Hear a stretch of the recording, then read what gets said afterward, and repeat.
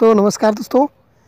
दोस्तों, कई सारे लोग क्या है रीसेलिंग में नहीं आए तो उन लोगों को पता नहीं है कि ऑर्डर किस तरीके से लगाना है और किस तरीके से पेमेंट वगैरह आता है और किस तरीके से कुछ होता है। थोड़ा बहुत मैं इस वीडियो में आज बताने की कोशिश करूँगा कि ऑर्डर कैसे लगाना है, कैसे कंपनी प्रोडक्ट पहुँचाती है, कैसे कुछ पेमेंट आपकी आती है। सारा कुछ इस वीडियो में डिस्कस करने वाले तो सबसे पहले मीशो में जाके आपको बता देता हूँ कि ऑर्डर कैसे लगाती है। देखो सिंपल है, तीनों एप्लीकेशनों में एक ही तरह से ऑर्डर लगाए जाते हैं। सिंपल एक ही टाइप से, ठीक है? तो मैं सबसे पहले यहाँ पे मीशो में आया हूँ और यहाँ पे आपको ऑर्डर लगा के बताने वाला हूँ। उसके बाद वो प्रोसेस बताऊँगा कि ऑर्डर कैसे कंपनी कस्टमर तक पहुँचाती है और कस्टमर से पैसे लेकर आप तक कैसे देती है, वो भी प्रोसेस बताऊँगा, ठीक है? तो सबसे पहले तो मैं यहाँ पर जाता हूँ। देखो, कोई भी ऑर्डर लगाना है तो आप सिंपली क्या, यहाँ पर सर्च बार पर क्लिक कीजिए। जैसे ऑर्डर पर संख्या होती है, ठीक है? फ़ोटो पर वो भी मैं दिखा देता हूँ आपको सिंपली स्टेप बाय स्टेप तो यहाँ पे मैं सिंपली एक बार बैक क्लिक करता हूँ और यहाँ पे जैसे कोई भी एक पिक्चर पे मैं आपको संख्या दिखाती हूँ, आपको वहाँ पे क्या डालना है? जैसे अगर मैं इस इस पर क्लिक करता हूँ प्रोडक्ट पे और यहाँ पे एक संख्या आपको दिखा देता हूँ, ठीक है?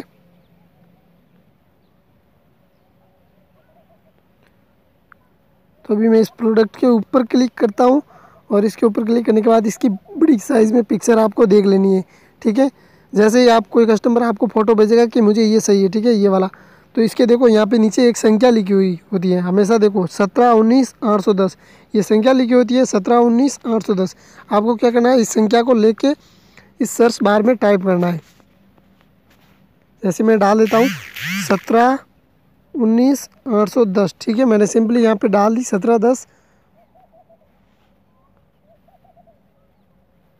सत्रह उन्नीस, आठ सौ दस। ठीक है, ये वाली मैंने थोड़ा सा इसको ऊपर ले लेता हूँ, यहाँ पे।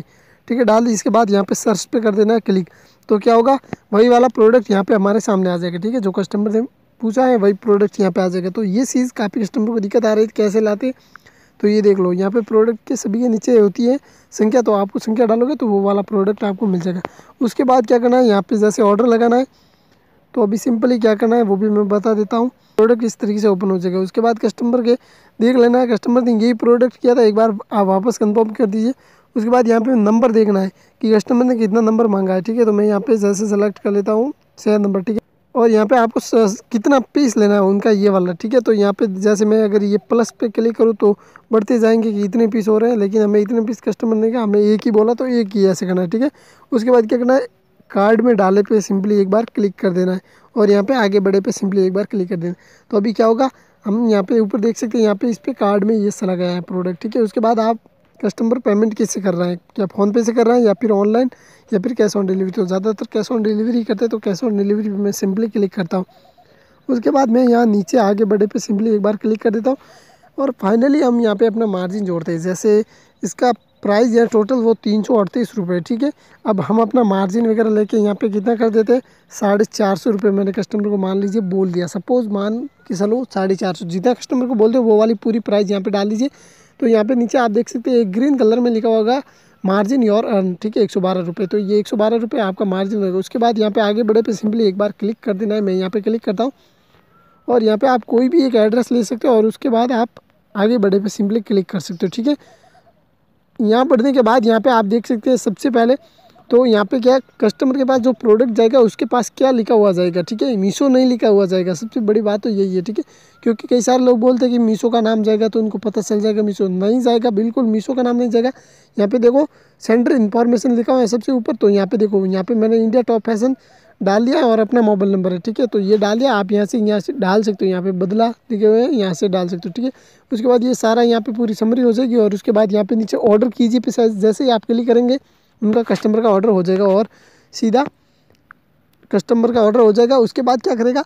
मीशो कंपनी इसके बाद क्या करती है? ये बता देता हूँ, ठीक है? मीशो कंपनी क्या करेगी? इस प्रोडक्ट को जिस जिस सप्लायर जो सप्लायर हैं, वो बेच रहे हैं, उससे ये प्रोडक्ट लेगी और कस्टमर तक पहुँचाने का काम करेगी। कस्टमर तक कैसे जाएगा प्रोडक्ट तो वो भी मैं बता देता हूँ, ठीक है? कस्टमर तक कुरियर कंपनी के द्वारा जाएगा। कुरियर कंपनी आगे जो डिलीवरी बॉय होते हैं, वो वाले वहाँ से कुरियर कंपनी से लेंगे और सीधा कस्टमर तक लेकर जाएँगे, ठीक है? कस्टमर तक लेकर जाएँगे और कस्टमर को वो प्रोडक्ट दे देंगे। आपको कुछ नहीं करना है, बस आपको सिर्फ़ ऑर्डर ही लगाना था।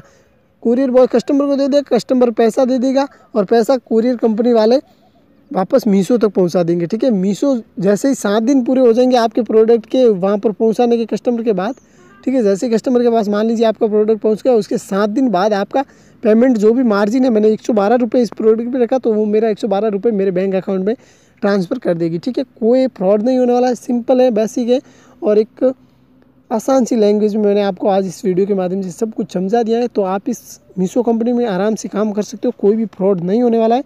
तो बस आज के वीडियो में इतना ही। बताना चाहता था कि इस तरीके से आप ऑर्डर लगा सकते हो। अगर वीडियो पसंद आई हो तो लाइक ज़रूर कीजिएगा और चैनल पर नए आए हो तो चैनल को सब्सक्राइब करके घंटी के बटन को प्रेस ज़रूर कर दीजिएगा। तो बस आज के वीडियो में इतना ही। मिलते हैं अगले वीडियो में। तब तक लिए जय हिंद, वंदे मातरम।